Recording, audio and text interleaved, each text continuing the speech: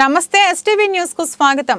అనుకోకుండా జరిగే విపత్తులను ఎదుర్కొనే సమయంలో పాటించవలసిన జాగ్రత్తల గురించి సంగారెడ్డి జిల్లా సదాశివపేట మండలం వెల్టూరు గ్రామంలో ఎన్డీఆర్ఎఫ్ బృందాలు మాక్ డ్రిల్ నిర్వహించాయి.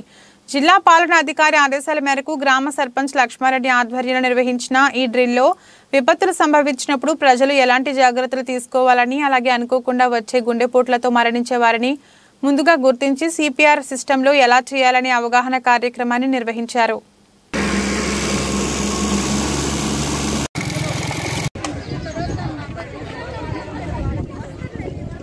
అక్కడ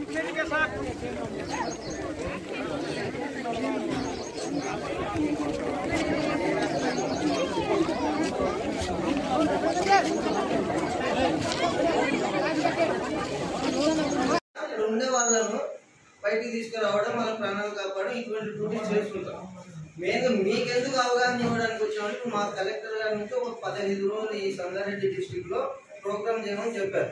ఈ రోజు లాస్ట్ రోజు కానీ ఈ రోజు మీ గురించి ఇచ్చాము అందుకు మేము ఇప్పుడు మీకు చెప్పడానికి మెయిన్ కారణం ఏంటంటే ఒక అవగాహన ఉండాలి మీకు.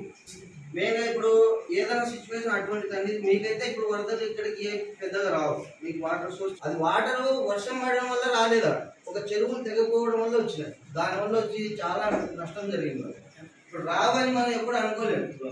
ఎప్పుడు ఎలా సేవ్ చేసుకోవాలి అనేది ఒక యాక్చువల్ ఏంటి ఇట్లా వరదలు ఎక్కువ జరిగినప్పుడు ఈ సర్పంచ్ వాళ్ళు గ్రామ సర్పంచ్ విలేజెస్ వాళ్ళకి ఊళ్ళోకి వాటర్ ఎక్కువ వచ్చినప్పుడు ఒక ఫైవ్ మినిట్స్ ఏదైనా సెలెక్ట్ చేసుకొని ఆడ అందరికీ మీరు ఇక్కడికి రండి ఆడ వాళ్ళకి అన్నం పెట్టడము ఏదైనా మెడిసిన్ ఇవ్వడము మందులు ఇవ్వడం అటువంటి చేస్తుంటారు ఆ టైంలో మీరు అక్కడికి పోవడానికి కూడా కొద్దిగా అవగాహన ఉండాలి. ఇప్పుడు మొత్తం దాటుకోవాలంటే ప్రతిదీ మనం చేయలేం. ఇటువంటి చిన్న చిన్న ఐటమ్స్ మేము చూపించాం కదా వాటి తయారు చేసుకుని ఆయనతో అవతలు దాటుకోవచ్చు మన ఇంట్లో వస్తువులే ఇంట్లో వస్తువులు ఆ విధంగా తయారు చేసుకుని అవతలకి వెళ్ళిపోవాలి ఇది ఒక అవగాహన. తర్వాత మెడికల్ పరంగా ఏదైనా దెబ్బ తగలడము బోన్ ఫ్రాక్చర్స్ ఎముకలు ఇరిగిపోవడం అటువంటి చేస్తారు.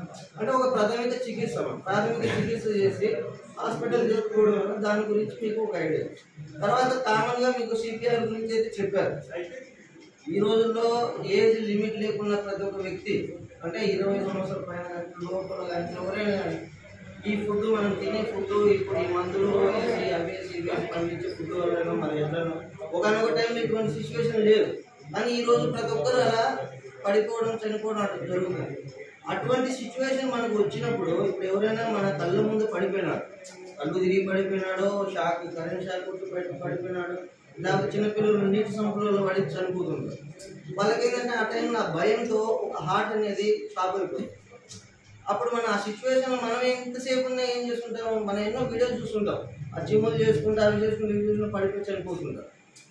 ఆ టైంలో మనం ఏం చేస్తామంటే ఎంతసేపు ఉన్నా వాడిని హాస్పిటల్ తీసుకెళ్ళాలి ఆటోలో చూడాలి ఇది హాస్పిటల్ మండల్ వెంటూరు గ్రామం ఎన్టీఆర్ ఉందాము ఈరోజు వచ్చి మా వెంటూరు గ్రామంలో మన విపత్తు సమయాలలో ప్రజలు ఎట్లా కాపాడుకోవాలనే దాని మీద అవగాహన కల్పిస్తూ నాలుగైదు ప్రోగ్రాం నాలుగైదు మీద అవగాహన కల్పించడం జరిగింది. వర్షాలు పడితే మనము ఎట్లా కాపాడుకోవాలి? దాంతోపాటు మనము ఏమన్నా చేను కాడ పోయినప్పుడు చెట్టు కానీ పడ్డా కానీ ఏదన్నా పడితే చెయ్యి కడితే కానీ మనం బ్లడ్ వస్తే ఎట్లా? దాని గురించి అవగాహన. మళ్ళా హార్ట్ అటాక్ ఈరోజు ఏజ్కి లిమిట్ లేకుండా సంవత్సరం నుంచి వంద సంవత్సరాల లోపల గిట మనకు హార్ట్ అటాక్ రావడం జరుగుతుంది. మరి ఇరవై ముప్పై సంవత్సరాలలో ఈ మధ్యలో చాలా ఈ హార్ట్ అటాక్ రావడం జరుగుతుంది.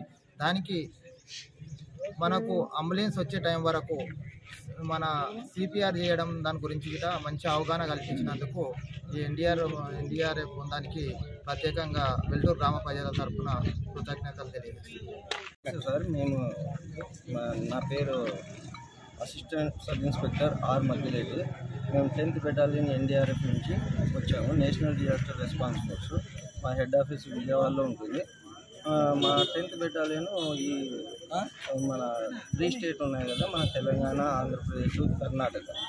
ఈ స్టేట్స్లలో ఎటువంటి విపత్తులు ఏదైనా ఫ్లడ్ రిలేటెడ్ కానీ ఏదైనా ఎర్త్క్వేక్ రిలేటెడ్ కానీ chemical leakages gas leakages related ఏదైనా విపత్తులు సంభవించినప్పుడు అక్కడ అక్కడికి వెళ్ళి అక్కడ ఉండే వారి ప్రజల ప్రాణాలను కానీ వాళ్ళను సేవ్ చేయడము వాళ్ళని బయటకు తీసుకుని రావడము ఇటువంటి డ్యూటీస్ ఎక్కువగా చేస్తుంది.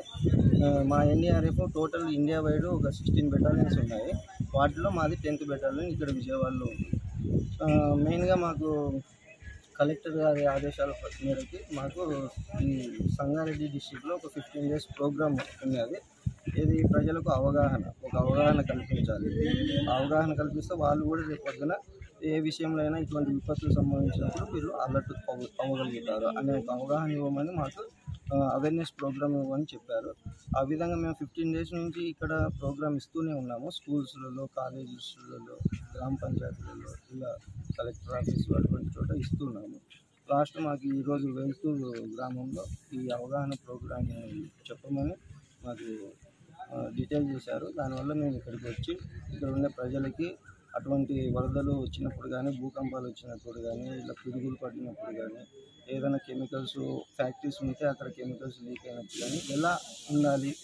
మనం ఆ, ఏమరపాటుగా ఎలా ఉండాలి అనే దాని గురించి ఒక అవగాహన కల్పించాము. ఇప్పుడు కామన్గా మనం చూస్తూ ఉన్నాము ఎక్కువ పర్సెంట్ ఏజ్ లిమిట్ లేకుండా ఒక హార్ట్ అటాక్స్తో చనిపోవడం అటువంటివి జరుగుతుంది యంగ్ యంగ్ వాళ్ళు యంగర్స్ చాలా వరకు ఇలా చనిపోవడం జరుగుతుంది.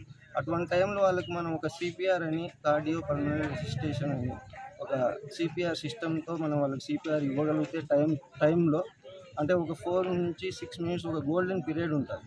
ఆ పీరియడ్ టైంలో వాళ్ళకి కనుక మనం సిపిఆర్ ఇవ్వగలిగితే అటువంటి వారి ప్రాణాలను వాళ్ళను బ్రతికించిన వాళ్ళం అవుతాము. దాని గురించి కూడా మేము అవగాహన ఇవ్వడం జరిగింది.